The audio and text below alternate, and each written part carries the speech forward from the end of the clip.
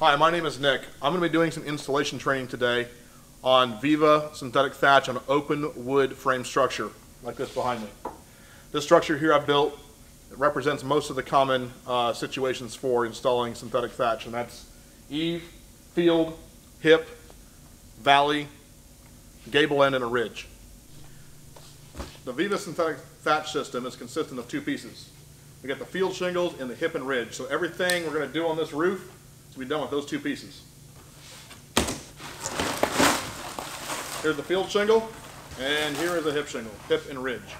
So we use this piece uh, primarily for hips, ridge, and sometimes for some other decorative things. We'll show some details on that further on. When we open a box of Viva, it's going to be packaged with five shingles to the right, five shingles to the left, five shingles to the right, five shingles to the left. That's how they're stacked in there. I always grab these things out, stack of five. You'll notice that when they're in the box, they get kind of compacted during shipping. What we want to do is we want to really loosen these things up for a more natural appearance when we go to install it. So what I, my, my practice is I always take them out of the box five at a time like this. We can install the Viva Thatch with actually just regular coil roofing nails. We always recommend using a stainless steel ring shank uh, roofing nail, inch and a quarter usually is the uh, is the best for the for the purlin size. So I'm just using a regular coil roofing nail. You can also use screws. Screws in a drill work just fine, obviously a little slower. All right, we begin at the eave. So one quick detail for all of the shingles with the, the eave and the field. This shingle has like a little fold line right here. You can see right here on the top of the shingle. That little flap that you see here needs to be folded underneath like that. Okay? Now, this is the top part of the shingle. This is the bottom. So this pattern right here is what you see from the interior. So this little flap gets folded down. There's nail indentations, these little location points here, here, here, here, here, and here. Six per shingle. That's where our nails are going to go. The nail gun, the head of the nail gun fits right there inside that little indentation and lines up perfectly. The eave consists of a three-course eave detail. The first piece goes on right here onto the to the second purlin up. Okay, we want this por uh, portion of the shingle to come all the way over to the center line of the hip. So that comes all the way over here. The first course, you only need to tack a couple of nails into that to, to just to hold it on until the third course goes over the top of it, because the third course will actually go directly on top of this. So for the moment, we only need to put a couple of nails in there to secure it. Anytime we have a end joint like this, we want to make sure we're overlapping minimum two inches.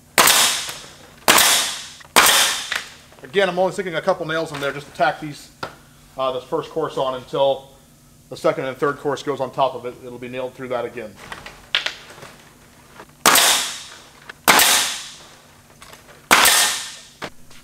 The second course eave detail, this is the one that gets a little tricky that a lot of people kind of don't quite understand. So what I'm going to do, do with the second course is I'm actually going to lay this on top of the first course. And I'm going to install this thing by nailing it through both layers here down into the first purlin.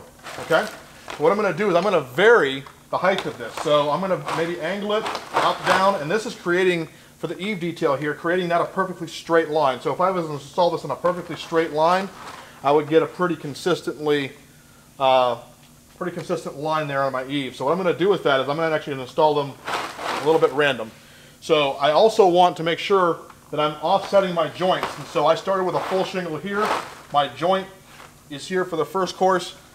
If I go with a full shingle again, I'm going to be lining right up again. So what I do a lot of times is I'll just go ahead and uh, cut the shingle right in half. Start with a half shingle.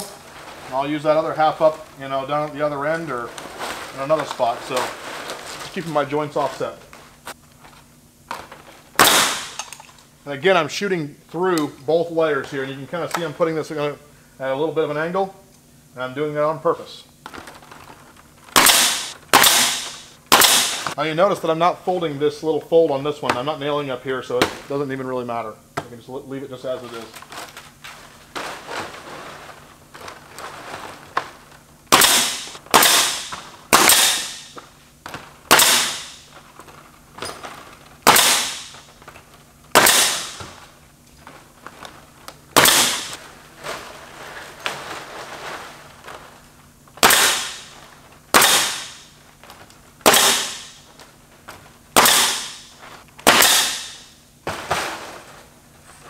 All right, so the third course of our eave detail goes right on top of the first course. So I'm going to take a shingle, I'm going to fold it just like that. And again, I'm offsetting my joints. I'm starting again with a full piece here because my last joint was here. Now I'm going to nail every nail spot in this one. It's going to be going through both layers there. So that's why the first course around we only installed a couple of nails just to hold them in place.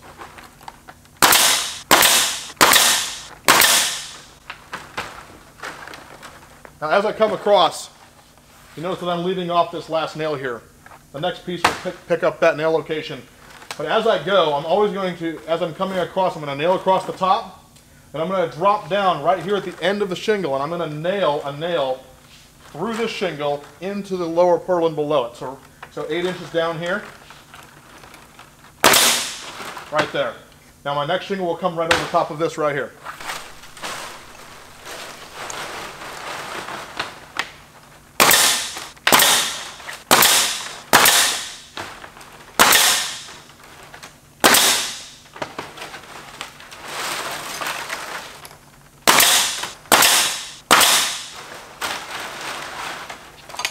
As you can see, we got quite a bit of volume going here on the eave. Um, all of this, I kind of manipulate it as I go. So as the pieces go on, you see I kind of get this piece puckering up here. You'll actually see once we get going that that actually creates a lot of natural texture in the eave detail. We get a nice full looking eave. I always kind of come through this thing and give it a nice little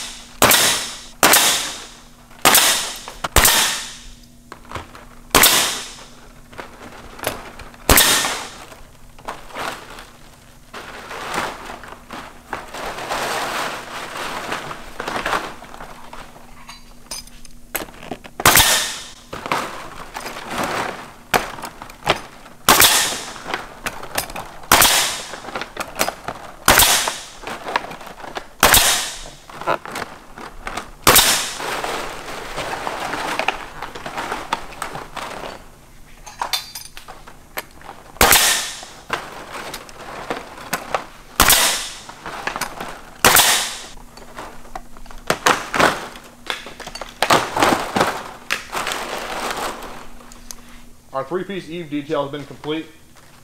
We installed this all the way over to the center line of the hip. We're going to move on now to the field courses. For the field, we actually want to maintain about a three inch over the center line of the, of the hip.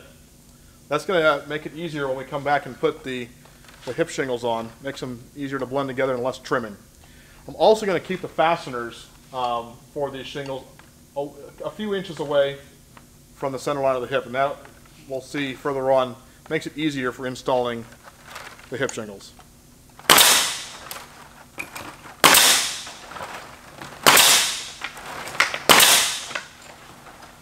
Always making sure we're coming across the top here. We leave the last one off. This next shingle will catch that. We'll make sure we're dropping down and putting this nail right here. Again, we're always maintaining our two inch overlap on the ends here.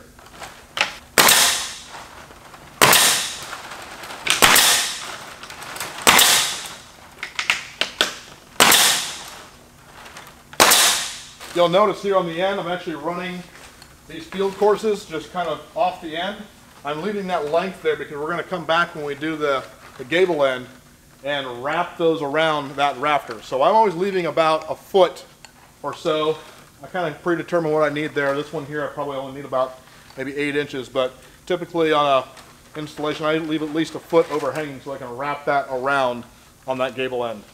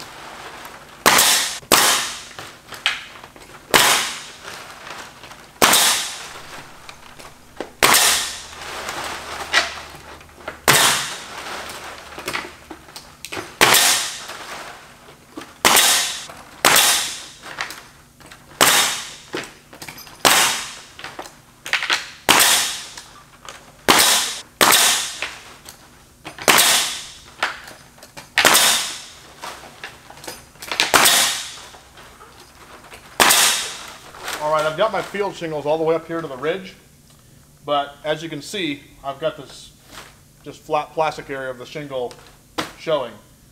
The ridge shingle will not cover all of that up. So what I'm going to do is I'm going to take a field shingle and I'm going to actually install it, extend it up past the ridge.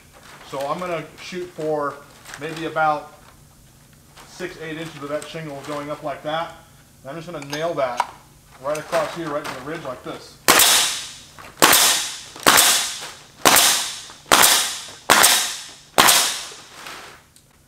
Then I'm going to come and I'm just going to trim the top of the shingle off flush with the top of the ridge there.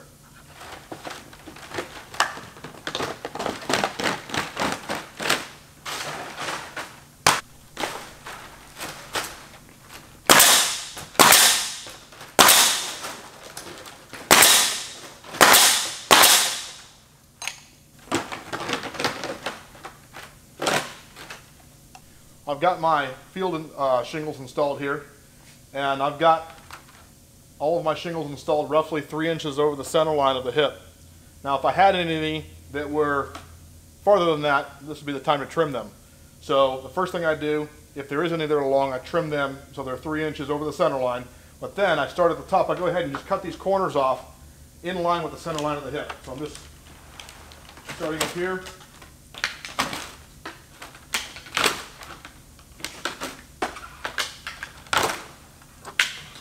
And see, I've got a pretty consistent pattern there.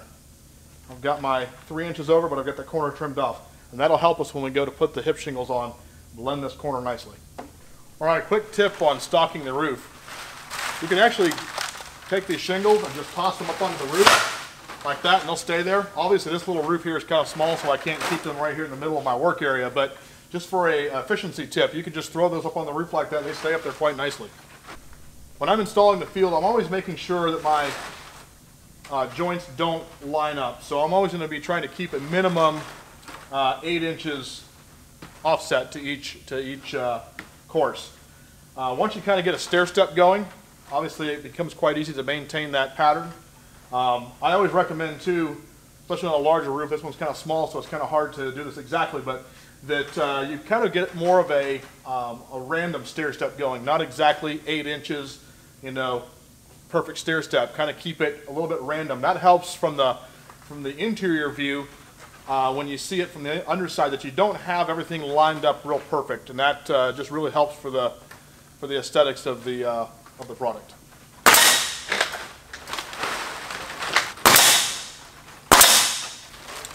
I'm always going to keep my cut pieces and scraps close by for a situation like this.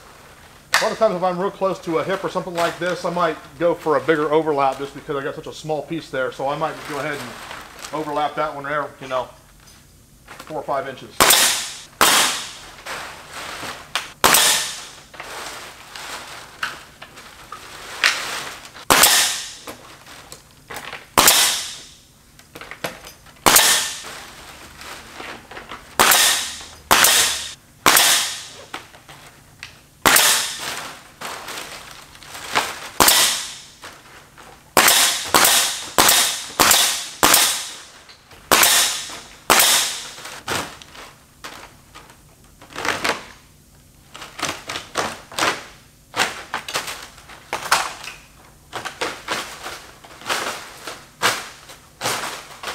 Right, this is a good example of what happens on the opposite end of a hip when you just let the pieces run long. So I started over from this side. So I'm going to trim these. Again, going about three inches past the center line, trimming straight down.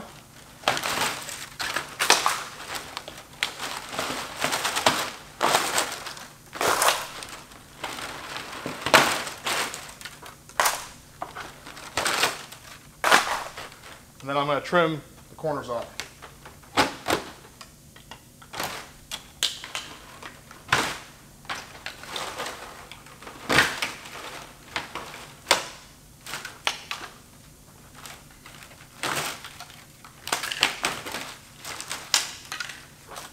It's real important that we maintain this uh, pattern. It doesn't have to be perfect, but this dimension here in relation to the hip shingle is real important for a consistent looking hip. All right, for the hip installation, this is actually a really important part uh, to get to get right, and this is probably one of the more complicated ones to show on video, um, just because there's a lot going on here. Um, we're using the hip shingles, the hip ridge shingles, which is the same component here uh, for these. One thing always, these things come in the box, they're, they're packed pretty tight. So I always want to kind of loosen them up a little bit. I call it loosening. I'm just kind of doing that number to them to kind of get them out of their flat packed status. All right, so we got three pieces here that made up our eave detail. And so we have this little triangular area here that needs to be filled in. Uh, we want to continue that, that thick built up eave detail. So as you can see here, we left our, our fasteners back away from um, the center line of the hip here previously when we installed the, the field. So the reason we did that is this. So we can peel back these layers and kind of weave in these hip shingles. So I'm going to kind of show you real quick uh, without nailing them in yet kind of how I'm doing that. And so one thing I'm looking for here is I'm paying real close attention to this little area here. And this is where we need to have kind of a little bit of an artistic eye just to keep this detail here nice and full. Um, depending on your roof pitch, you, you know, there's a couple different techniques we can use to keep this full. Usually on a steeper pitch, it's not as not as hard because the roof's more vertical. The lower the pitch, you might have to add a few extra pieces in here to keep that volume on this corner. So just keep that in mind. There's not an exact set piece count here. I'm just really using my eye to make sure I've got this filled in nicely and it kind of matches the rest of the eave. And so what we're doing really is we're starting here and I'm just centering this piece right there on the, on the hip line like that. And then I'm gonna go ahead and bring these back down and fasten through. But you can see there with just one piece, I'm, I'm kind of, I'm kind of got a, a little bit of a thin spot here. So I'm actually gonna layer in a couple of different pieces there to kind of create that much fuller eave detail. And I'm also going to kind of uh, maybe bring one down a little lower to kind of match the, the you know, the, the overhang of the, the three-piece eave. And I might put one here and then go up three inches and put another, and then I might come up a few more inches and put another. And that's just to start the eave off. And then once I get this filled in nicely and I like how that looks, from there up, I'm only just using one, one piece per, per course. And it's kind of the same detail. We're just lifting these, these two corners here. I'm just lifting these two corners up and I'm tucking the piece underneath like this. So centered on there, you can kind of see how that lays in there. And I'm popping a fastener back in here and back over here. And then I'm laying these field shingles on top of that and just putting a couple nails in right here.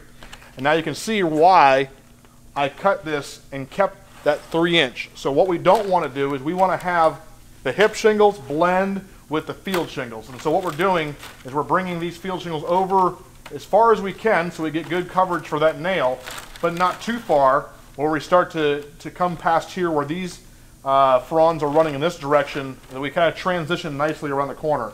And so that's why we maintain that three inches and then clip, clip these corners off. That's why it's important, uh, those dimensions there. And that's just to kind of blend nicely with this, this hip, make a nice round corner, very, very natural in appearance. So I'm going to go ahead and just uh, get these pieces installed.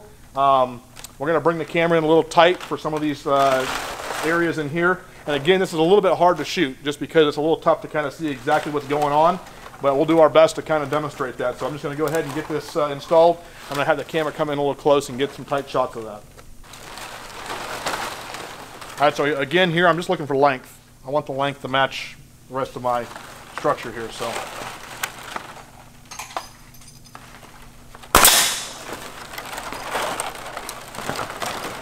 I'm locating the, the lowest purlin here and getting a couple nails into that. So.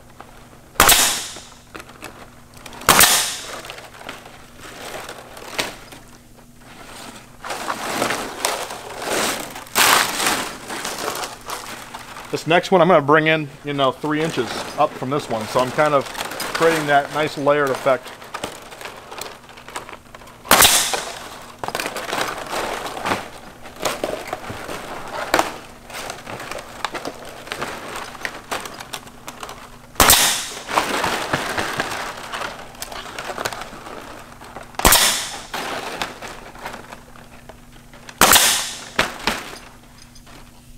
All right, here's a good example of how this, this merges nicely. You see how this comes across and it blends nicely.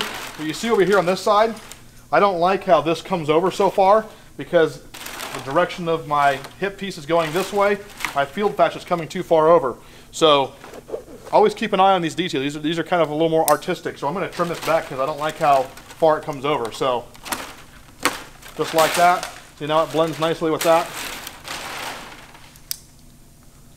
And again, we want to manipulate a corner like this. Come in here.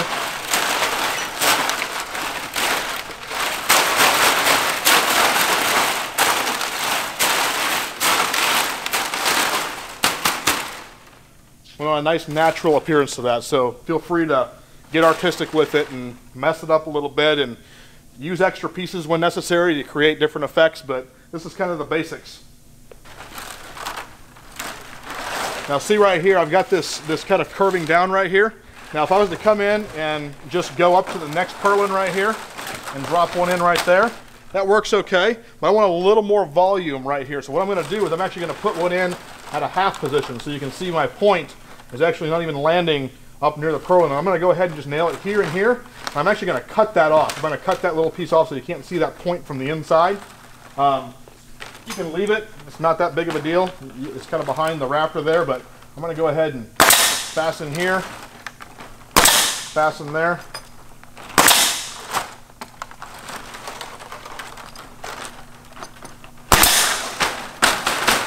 And what I'm doing with that little intermediate piece there, not completely necessary, I'm just adding a little more texture down here.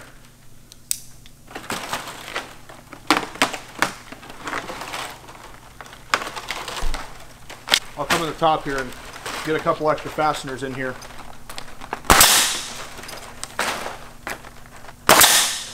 All right, so this right here is kind of my little more artistic portion, kind of getting this thing filled in and looking nice. So from here on up, I'm just gonna put one piece per course.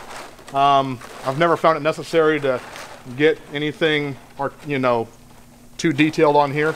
It's pretty pretty straightforward from here on out. So what I'm doing again is just to kind of give you an idea. I'm laying that hip shingle in there. I got the point right here, right up to the to the purlin.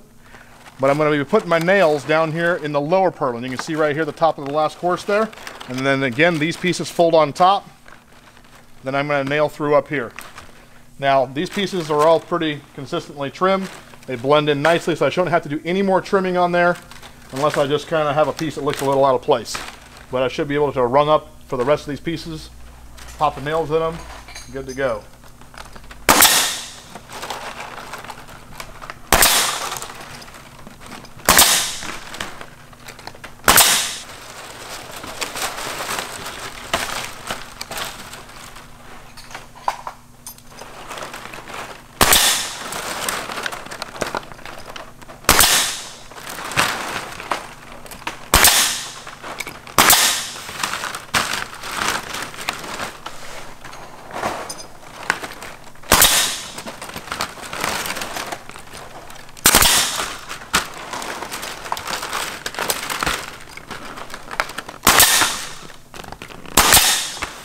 Got my hip shingles installed all the way here to the last course. So kind of like we did over here in the field where we installed a shingle that was extended up past the ridge and we cut it off. we do the exact same thing with the hip on a situation like this. So we'll put the, the hip shingle on, extend it up, you know, six inches or so. We can drop a couple of nails here. The ridge shingles will cover all those up when we come back around with the ridge.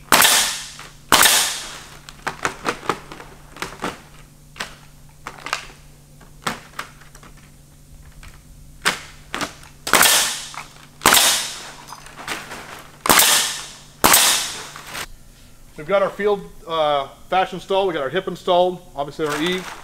And if you remember when we were installing the eave, we had a couple of those pieces puckering up. If you notice now, it actually creates like a lot of natural texture, like this here. Don't be afraid of things like this, because uh, that actually adds to a lot of the natural texture. And you'll kind of see here where I kind of uh, did a little artistic, you know, thing with my hip shingles. I kind of put, you know, two or three pieces here to start. It just creates a natural kind of curve there. I kind of, you know, work these pieces in. But, uh, but yeah, so don't be afraid of things like this. I actually love that because it adds that natural texture.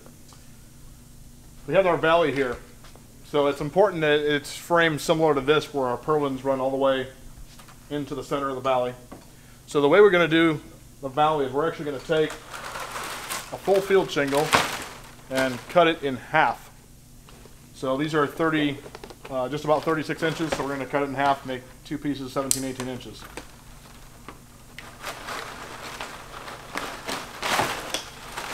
So we're not going to fold this flap here. We're not going to do anything with this. We're going to leave this just like that. What we're going to do is we're going to fold this directly into the center.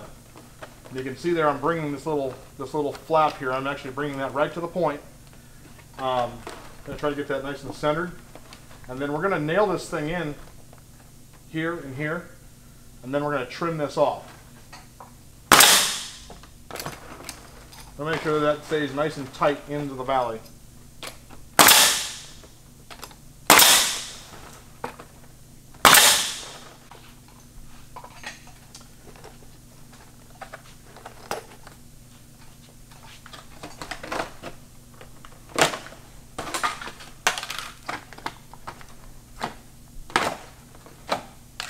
Continue installing these one per course all the way up. And then we'll actually bring our field shingles all the way into the valley here.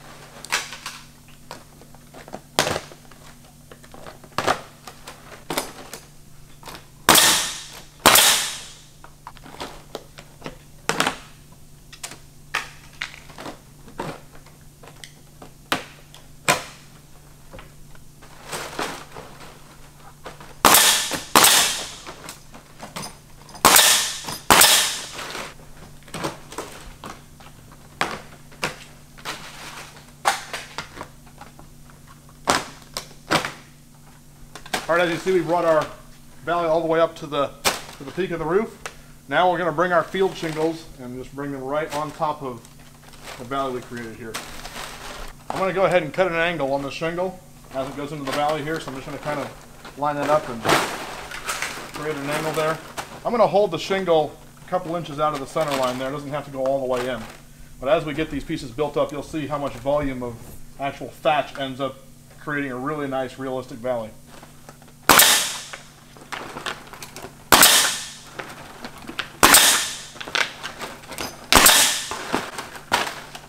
I'm going to keep my nails uh, probably four to five inches out of the center line of the, uh, the valley. Now when it comes to the, the built-up eave detail, I'm going to run this piece here because it's the second layer in. I don't need to kind of cut an angle or anything. I'm just going to run that in there so it comes directly into the, uh, the valley there.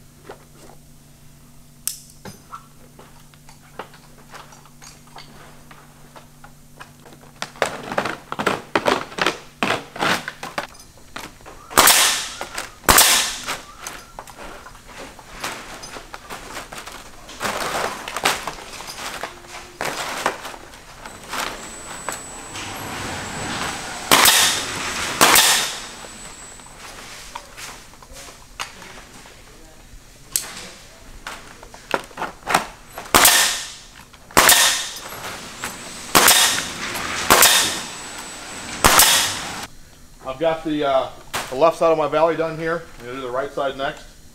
Same exact technique. Gonna cut an angle on the shingle.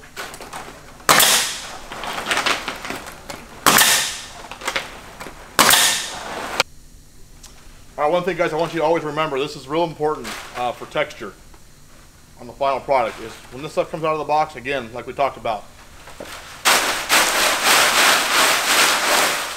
don't be afraid to mess that stuff up a little bit.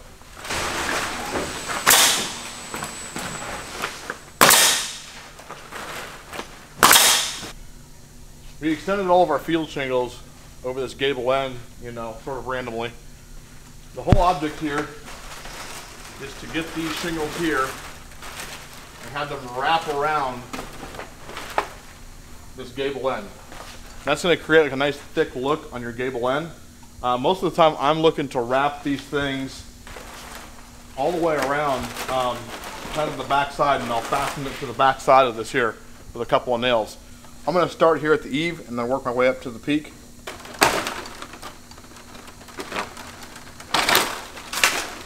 And I'll wrap these two around like that.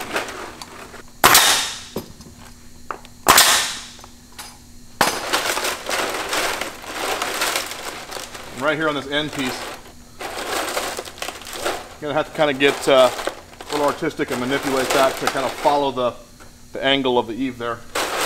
So that looks pretty good there. I like that.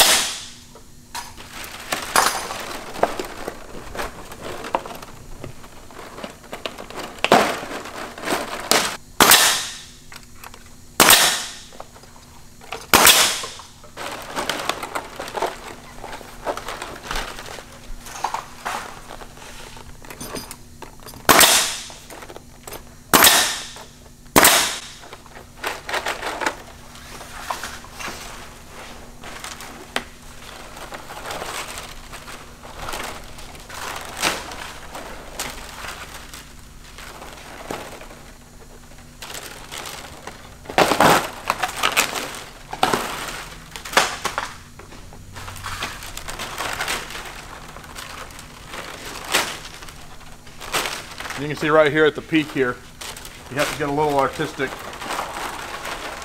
getting this all fit together.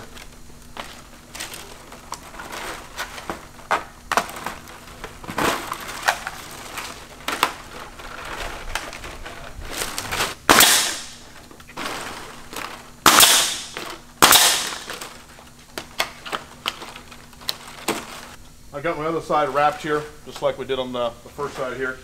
So this is what kind of happens if you don't kind of manipulate this end. It kind of creates this weird little point here. So.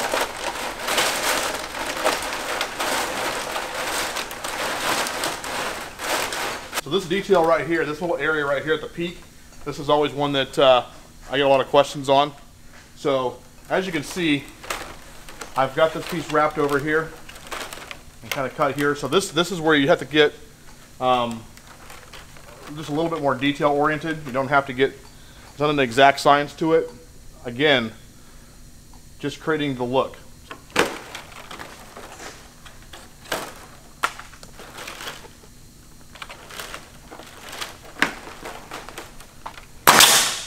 So this little area here, I'm, when the ridge shingle goes on, there's going to be a little area right here where these fasteners potentially could be visible. I'm going to use some uh, some scrap pieces of shingle here.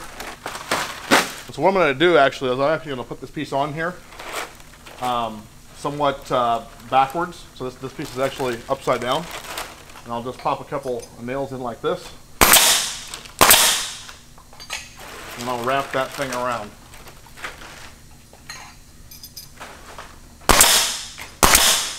Same thing here.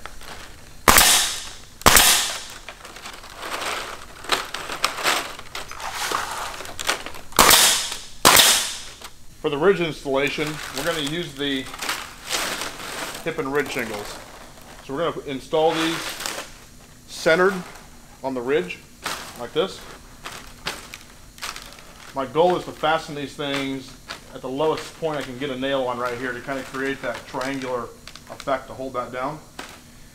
At the end of a gable, for instance, we saw how we kind of filled this in, to create some volume here.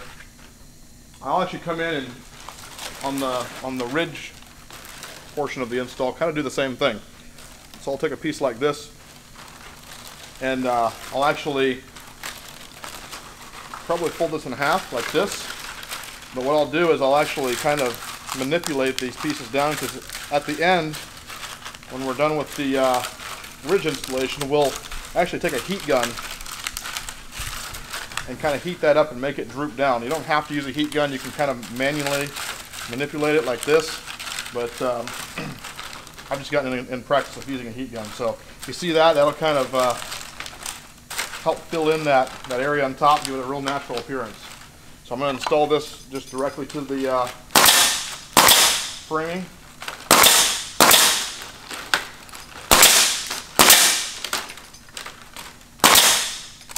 As far as the start of the ridge shingles here, I'm actually going to bring one out to kind of match the ends of this. Nice and centered.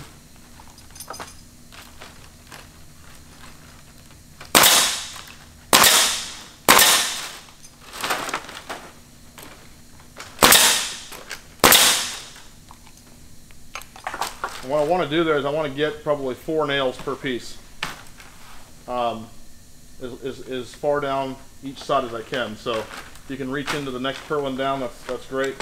Um, but as I start here, we're going to do 8 inch on center. So these things will go 8 inch on center. But at the beginning of like a gable end here, I'll actually start out with uh, my first one here, and then I'll actually put one 4 inches or so.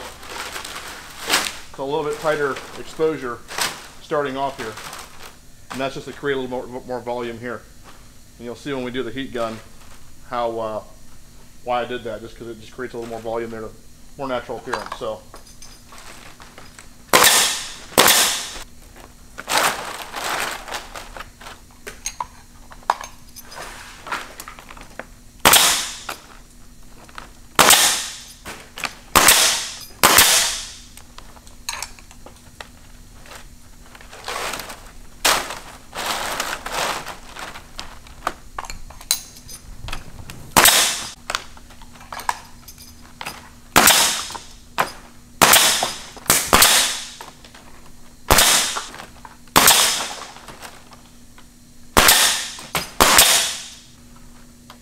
Installing the ridge on a hip, you can see previously we had this uh, last hip piece here kind of folded up on top here. I'm going to kind of do the same detail I did on the gable end, and that's to start out um, with one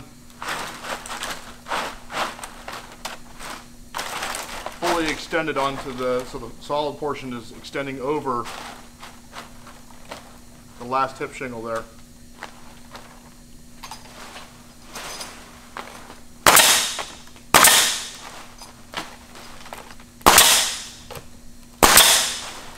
Again, we'll come back and actually use the heat gun to get that to lay down nicely.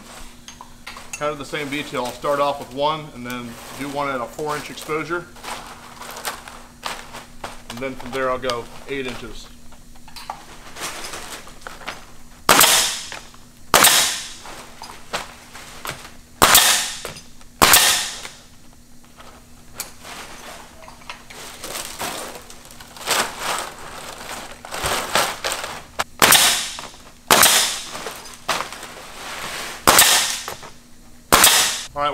Ridge uh, coming from two directions into a valley here, this creates a little bit of a challenging scenario here. There's a couple different ways to do it, but the way I'm going to do this here is I'm going to take a shingle on the back side here and run it up like this. I'm going to fasten it on these back corners here. And I'm actually going to fold this tip, create like a little valley right there. And then I'll fasten it here and here and then we're going to come back over with these pieces like this.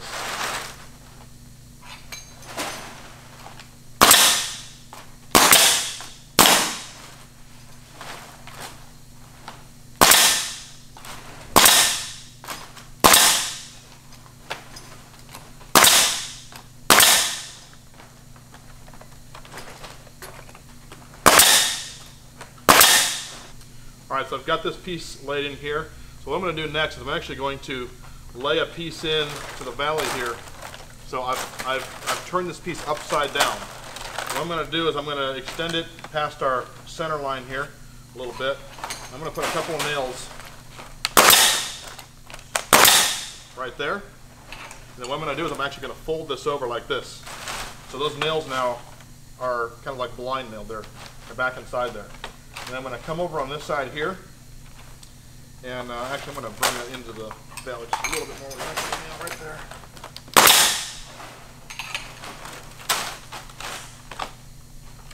Gonna wrap that around like that.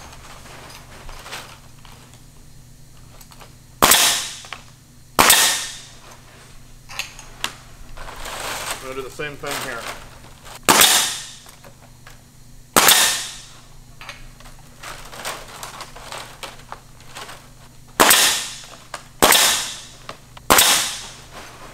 Here on the ridge, we've uh, got the ridge shingles kind of overhanging this little gable end here, and uh, it kind of looks a little unfinished right here. So what I'm going to do is actually take a heat gun and just put a little heat on the underside of these, just let them kind of droop down and, and it covers this little area up here.